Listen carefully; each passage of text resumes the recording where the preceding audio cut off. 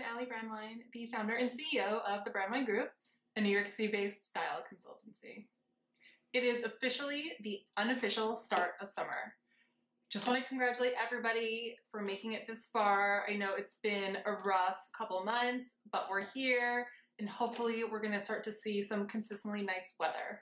My clients are always asking me how to care for their purchases, especially the white ones.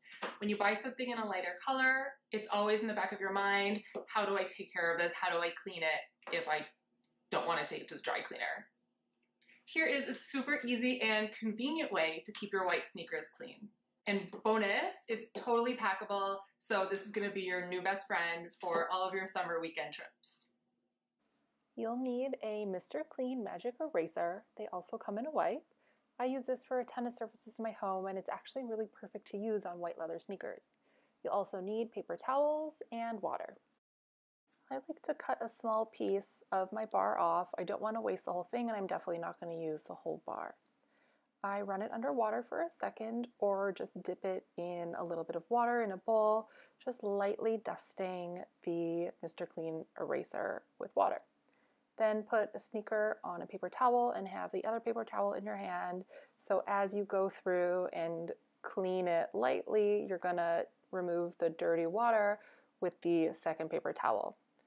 You most likely, as a first timer, want to take off your shoelaces, but because I'm pretty skilled at this, I am able to go around them and I'm actually gonna throw my shoelaces in the wash so they are cleaner than they are here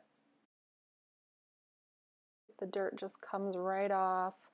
It's not going to take you too long. It was a little difficult for me to get in the corners filming with one hand on the camera, but here is a zoom in on the before and after. Super clean.